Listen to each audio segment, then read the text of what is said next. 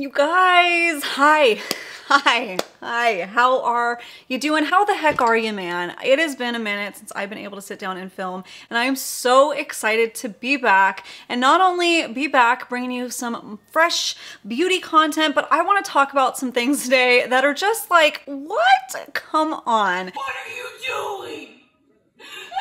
In this video, I wanna talk about brands that have had a best-selling product, a major hit usually something to do with the name, tied in with the name, and they will not stop making products tied to that name, no matter what it is, good or bad, have anything to do with the name, it's debatable, and they, they just won't stop. Hey, stop it! So that's what we're doing in this video. If you happen to be stumbling upon my face and my channel for the very first time, my name is Ashley Ellix. I am doing kind of commentary beauty here. Over on my Instagram and TikTok, I'm doing more beauty comedy. I don't really know what to call it, but there's just a lot of like, not taking myself so seriously, joking around about makeup, beauty, just relatable, just eyeliner mistakes and mascara mistakes. That you want to throw your mascara out the window, all of that. So if you aren't following me yet over on TikTok and Instagram, I would love it so much if you do that. Go ahead and give me a follow, come say hi, come just have a laugh with me. I'm making memes too now. I'm just, you know, even though I haven't been on YouTube for the last month or two, I found a kind of segue passion of just having fun again and just like joking joking around. So anyways we're gonna be diving into this, these makeup kind of one-hit wonders but like the brands still are going on. They're not full one-hit wonders. That's another video i'll do another time. But um yeah if you're ready to dive into it with me then let's let's get started boo! Okay before i begin take a quick moment to leave a comment of brands that you think are guilty of this or like their product. So any brand and the product name that you think I'm gonna be talking about, take, take a wild guess, okay? Because you know, you know what's up. Let me just preface this by saying I know that brands, all brands, have little like subset categories, little pockets of categories to help the consumer when shopping. So you have brands that will have a line with probably a kitschy name that all the products you know are dewy and glowy and that's what's gonna be your finish. Then you have like the more matte lines. It's like that's not what I'm talking about in this video. I'm talking about like they had a name, they had a product with a name that was a kitschy name, and they, and they just they will just name anything that and it just doesn't always make sense. Okay, so starting with number one, Tarte Shape Tape. I knew it! What was supposed to be just a concealer has now become this crazy Aquari Aquarius, is that a word? A monster, monstrosity of different makeup products that have the name Shape Tape attached but what does that like actually mean? I don't, I don't, I don't understand. Shape tape, like I think the original meaning of shape tape was like shaping it up, right? When shape tape came out, it was like that huge boom and it really like, I think elevated the whole beauty community scene on YouTube and everybody was doing the triangles and lifting and a lot of us still do it. And it was just, you know, it's shaping shaping and taping. But with all these other products, it just doesn't make sense to me. So let me read you a list of some of the, just, just some that I could think of and find with the name Shape Tape. I could be forgetting some. We have, da, da, da, of course, I think the first thing that came out after the Shape Tape Concealer, it took a while. People were asking for a Shape Tape foundation for, I wanna say like two years. So Shape Tape Foundation, it did not deliver. It got pulled off the market. People didn't really like it that much. I mean, everybody, there's gonna be people that like it here and there. They did come out with a matte and dewy version, which was cool that they had that. But can we talk about that for a second? The matte was like ultra, ultra matte. If you liked that, that is great. I'm sorry they discontinued it. The Dewy though, the Dewy was annoying because you guys, there was a whole scandal about that if you didn't know about. I forget what, no, it was called the Tarte it was a super long name. Tarte Double Duty Empowered Hybrid Gel Foundation. Yes, that's one product.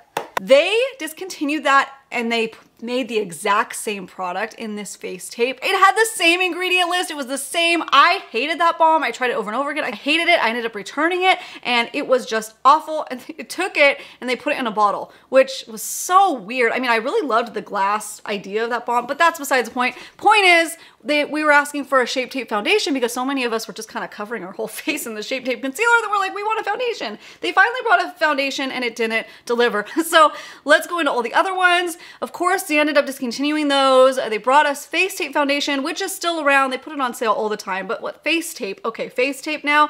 Then they had Shape Tape Stay Spray, which is actually one of my favorites. I do love that. I've purchased, repurchased it several times. I don't understand how or why it's called the Shape Tape Stay Spray. I just call it the Stay Spray, but whatever. They have the base, they have or had, I don't remember, base tape primer, shape tape setting powder, which I do own. It's all right. It wasn't like a good baking powder though, so I don't know why they called it that. Then they launched the shape tape glow wand, which is also another favorite of me. So I will say, even though a lot of these, it doesn't make a lot of sense why it's called shape tape, I do own some of them and I really like them. It's just they, it just yeah, we'll talk about in a second. So they have a Shape Tape pressed powder, Shape Tape moisturizer. Come on, they have a Shape Tape eye cream I recently saw. That doesn't make, I mean.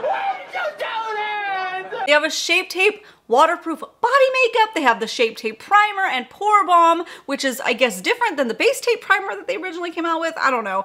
They have the Shape Tape Quickie Blending Sponge shape tape brushes at one point or now is it? I don't it's just it's crazy. They even i even found when i was looking up all of this i didn't we must have missed it a shape tape eyeshadow palette?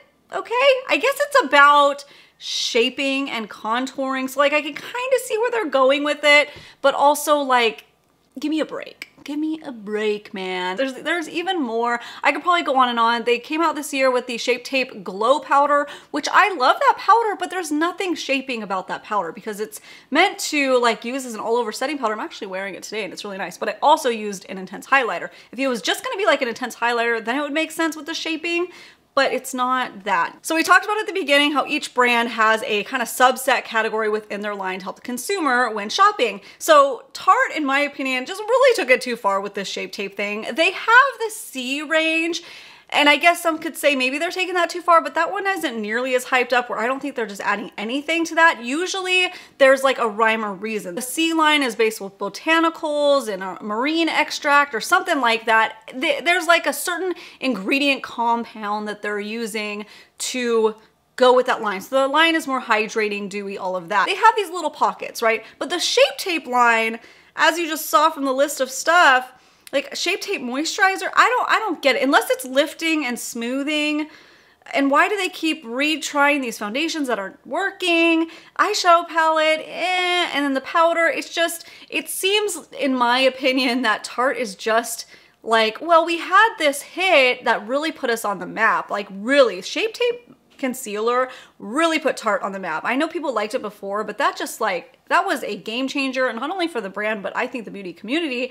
And they're just, they're taking it and they're running with it. And probably it's because of searchability. People type in Tarte Shape Tape, all, and then all their products are gonna show up. Like, I'm sure it's a total marketing move, but a lot of this stuff gets discontinued. So I don't know how good it is in the longevity, it's a little much for me. I kind of like roll my eyes each time they have a shape tape launch because it's like it doesn't it doesn't need to be called that. Like their shape tape glow powder, whatever, could just be called like their glow wand glow powder, and that would be great, you know? Like just I don't I don't know. I don't know because I don't understand like there's dewy and matte, so it's not helping the consumer navigate like what kind of finish they're gonna want because it's a whole mix of finishes. It's not really necessarily shaping. You get the point. You get the point. But I just have one question left for Tarte, okay? In all seriousness, why stop at makeup products? Hmm? What's stopping you from making, say, t-shirts? dog bowls, bedding, car chamois, easy bake ovens. The world is endless of possibilities. Why not make a shape tape car chamois, okay? Why not make a shape tape dog bowl? Don't get any crazy ideas. I'm just kidding, Tarte, but like it kind of feels that way. like we're gonna be head to toe in something named Shape Tape just because they think it'll sell. Moving on, let's talk about the Urban Decay naked line. if you follow me on TikTok and Instagram, you probably think like I'm an Urban Decay hater and I'm not. I'm just disenchanted. Okay, I had a whole brand deep dive on that brand, which you could check out if you haven't yet. And I and I genuinely became disenchanted from the brand and it's making me see like a lot of holes. I was already feeling this way about the Urban Decay naked line, but I, I digress. That's a whole nother tangent. So anyways, check that video out, but let's talk about the naked line because we very obviously have have a million naked palettes to choose from. Ooh, a fresh pie. Save me a slice. That's good. Okay, that's good. Yeah, that's all right. That's good. Okay, okay. All right. Okay. All right. Okay, that's good. That's good. It's it's enough slices. They won't stop making those, okay? And a lot of them to me make no sense to be with the name attached to Naked. A lot of people like the Naked Wild Wild West palette. It's a beautiful palette. Has nothing to do with like a neutral, naked, natural type of look. Like that is a crazy intense teal. It's beautiful, but I don't know any teal people, so that doesn't, it just doesn't make sense to me. I, I did though see a comment on Reddit that said it should have been called Buck Wild and I would have let it pass. Buck Wild Naked, and that is true. That is such a freaking missed opportunity, Urban Decay. Another reason to be mad at you. But no, so that just, it just, mm, it just shows that they, ultraviolet naked because they I have a lot of feelings when it comes to the naked palettes, okay? What they do, I think where they've gone wrong with the naked palettes is they have two foots on both sides of the fence, which is very, very weird visual. They they need to like go full color crazy pigments and then stop calling it naked or let it be natural colors because a lot of the palettes I think fall flat and I think this is where the mistakes are happening. It drives me crazy and I may be completely off base here and maybe nobody else cares about it, but for me, it just, it bugs me. It bugs me because you gotta pick a lane, man. Are you wanting to be, and I, and I think that's why a lot of us are disappointed by the palettes is because they, you, you see the outside packaging and it's violet and beautiful and you're not, maybe you're not paying attention to the name and then you open it and it's like, well, what, is it? I don't know what this is. I don't know what to do with this information. So they won't stop making that. They're coming out with now more minis. In my experience, I've tried a couple of the Naked Mini palettes and I didn't like the performance of the shadows at all. I feel like the quality of the Naked palettes just haven't kept up with the times, especially for how much you're paying for these palettes nowadays. They are astronomically expensive and usually go on sale within two months. So don't even buy the new launches with them. They have so many stuff on sale all the time. But did you know, but did you know that they didn't stop at the palettes, okay? No, no, no, no, no. They slapped that naked onto everything. That sounds That sounds so weird. They slapped the name Naked onto everything. Okay, so they have the Naked Skin Foundation, since been discontinued, Naked Skin Concealers, since been dis discontinued. They had the Naked Pressed Powders, which has been reformulated at least once. They had the Stay Naked Foundation, which I, is it still out? I feel like that launched like a two years ago. The Stay Naked Concealer, which they were different than the original Naked Skin. They had this Naked Skin One and Done, which to me made the most sense because it's like a tint, you know? It's still your skin, but it's just like a tint. They had the Naked Skin Contour Palette. They had the blush, Naked Skin Blush Palette. They had so many things I'm sure I'm missing. It's just, I'm just, get a new name, I'm exhausted. It's not working. If they keep relaunching something and it's not sticking and they have to discontinue it and then they pull another variation of that, it's something's not working in there. Something, something is amiss with the Urban Decay, like I said, I know people are gonna think I'm a Urban, Urban Decay hate account. I'm not. I want what's best for them and they just don't seem to want that too. I feel very one-sided in this relationship, okay? Talk about parasocial relationship. I was rooting for you. We were all rooting for you. Coffee break. Mm. The next one I'm gonna talk about, here you guys, I got, okay, is Too Faced. I'm sure a lot of you are having different products come to mind, but the one that came to my mind as the most guilty of doing this is the Too Faced Peach line. I don't even remember what came first, but I think it was the Sweet Peach palette because the chocolate bar was such a hit and I mean, of course, they did make a bunch of random chocolate things, but they didn't go as crazy as the peach line. The peach line had that beautiful still tin case. Everybody really loved that. And then, of course, what did Too Faced do? Oh, well, the people want peaches. We're going to give them peaches and we will not stop until everybody has all the peach things, okay? Which peaches are cute. I love the smell, but everything was peach scented, which becomes a lot. And man, so they had the peach palette. Then they came out, I think, with white peach a little while after, which also had a blush. Then they had a blush trio, which I don't exactly remember there being good reviews for the blush trio. I think people were pretty disappointed by that.